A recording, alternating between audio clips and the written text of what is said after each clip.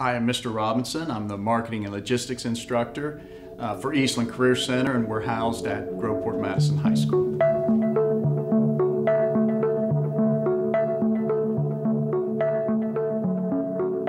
I decided to teach career tech because I was a, I was an operations manager in the industry, and uh, I had to train new employees, uh, new supervisors, and that was probably my favorite part of the job. So when I found the opening for a marketing logistics instructor at Eastland Career Center, I was pretty excited, interviewed, and um, was fortunate enough to get the position.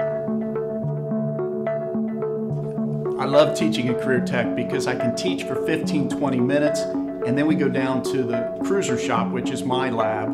Um, we can go down there and put to use exactly what we just taught in class.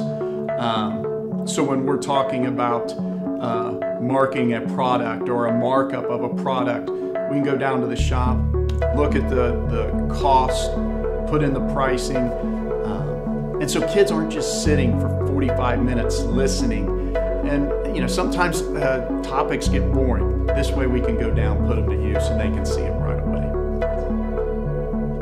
Students are in my program are going to have some value experience in two different ways. One, we take a lot of field trips uh, to businesses, people that I knew when I was in the industry. Uh, they invite us back for field trips, and they'll get to see what I'm teaching actually happen in real time, real life. Um, and also, there's several employers down at Rickenbacker in distribution centers uh, that need help, and they call me to ask uh, to get students to come down and help them. And so I have, right now, I have eight seniors already working in a distribution center uh, down at Groveport or down in the Rickenbacker area. So they get the work experience and they get to um, almost a shadow experience when we do field trips.